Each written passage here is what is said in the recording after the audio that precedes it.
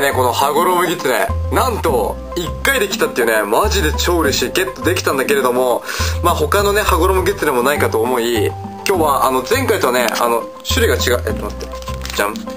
種類が違う。前回のはあのー、輪廻のは千年の闇だったっけ？で今回のがこのあやかしたちの祝願ってやつで種類が違うんだけどもなんと羽衣ギツネがここにもいるというね。羽衣ギツネがここにもいるという奇跡があるからじゃこのね羽衣ギツネもゲットしようと思いね。シークレットレアカード1これね見分けつかないんだよ出たとしても俺これがレアカードなのかシークレットなのか。であともう1個あるからほら。2つあるんでじゃん。羽衣ギツネゲットしましょう。そういうことでいくかな？開けっか。よっ。しゃ行くか。開けよう。でえー、っとまずここでいくか。ダダン。さて羽衣ギツネちゃん出るかな？ダン。おユラだユラ。ユラは決勝だ。そうあの死んじゃうところだね。これ誰にやられるんだっけな？えー、まあ誰だったか忘れちゃったけどね。このシーンは覚えてるな。ユラ。ユラも可愛いよね。呼び送りユラマックス。可愛い。おお来た黒タボ。俺超好き黒タボこいつ。超武器出すあのランマのさなんだっけあいつあのメガネ。えー、っとねランマのさ武器出しまくるやつみたいな感じで武器を出しまくる。なんだっけなあいつ。はちょっと忘れちゃった。でおお茨城童子これめっちゃかっこいいよ。あの四天童子がえー、っとねまあ親子なんだけど、まあ、本当の親子じゃない、まあ、まあ一応親子でこう四天童子の顔がここについてる親父の顔が親父やっつって。こいつもめちゃめちゃ好き。超大好き。おお警戒員の秋房。こいつはねあの用途を作るのが素晴らしい。うんやつだね。秋房。こいつもかっこいいよね。牛気えー、牛気これなんだ？修行の時か。牛気が利口に修行つけてる時かなこれ。おおユラ。いいねユラゲット。善の羽には毒があるってうんそういうまあ弱いんだけど、まあ、毒を持ってる妖怪。おお首なし。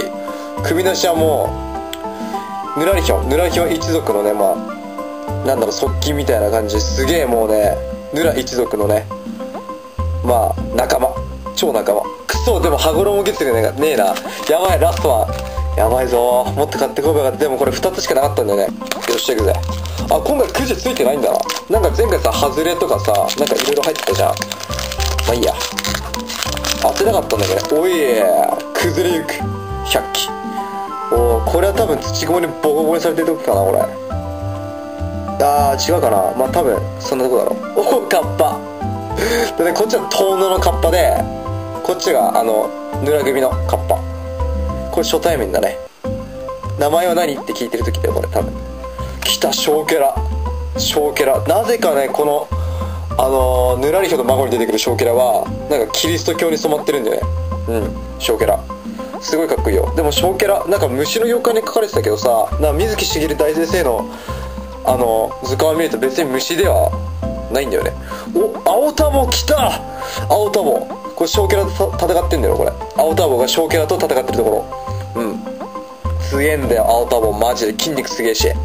半端ねえよ青タボ首出し。あこれかぶったね。かぶりそうこいきでいい暇つぶしになりそうだ。やばいね。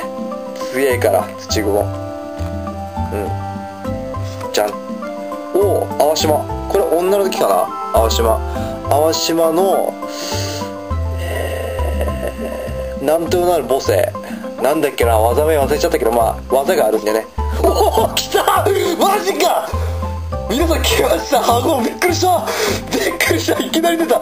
羽衣ギツネ。だけど「ぬえが池」って書いてる「ぬえが池」ここで出産するんだけどいやでもかっけえわ。羽衣ギツネ来たわ。やべえ死にそうになったよ。びっくりした。じゃん。羽衣ギツネとぬえが池いやどっちもかっこいいね。まあどうだろうこれ。うん。なかなかいい感じじゃない？ほら。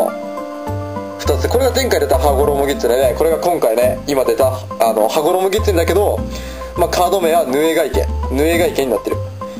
あでもかっこいいね。あなたの捨て場にあるレベルアップの能力を持たない強妖怪を1枚まで選んで手札に加える。うわーこれケースに入れてえわ。これ傷つけたくね超かっこよくね。この美しさ見て。これぞ大和なでしこだよ。黒髪に白い肌。そして黒い制服。いいねたまんねえわ。よっしゃ。つうことで今回もゲットできたな。じゃん。で前回の羽衣ギツネキラね。でキラじゃないね。羽衣ギツネもねあるんだよね。よこれ。じゃん。っつってまあ今のところ羽衣ギツネが映ってるの。この3枚かな。いいね。前回出たやつね。でこれも前回出たやつ。これもキラじゃないんだけどね。でこれが今回出た縫いが池羽衣ギツネが立っている。いいね。ならかっこいい。ということでね今回はこの羽衣ギツネ縫いがいがゲットできたんでよかったです。でまた次回ねあのー、見つけたら買ってくるんでまた違うね妖怪まあ羽衣ギツネね 妖怪っつうか羽衣ギツネお会いしましょう。ということでまた次回。バイバイ。